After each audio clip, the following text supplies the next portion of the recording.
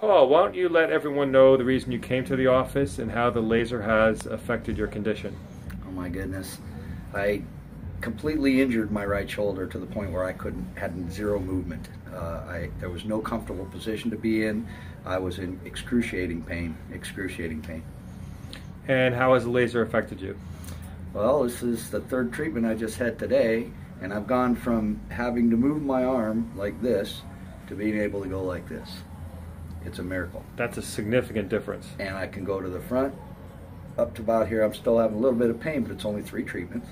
Uh, as far as I'm concerned, it's nothing short short of a miracle. Wow. So would you recommend that to anyone else having shoulder pain?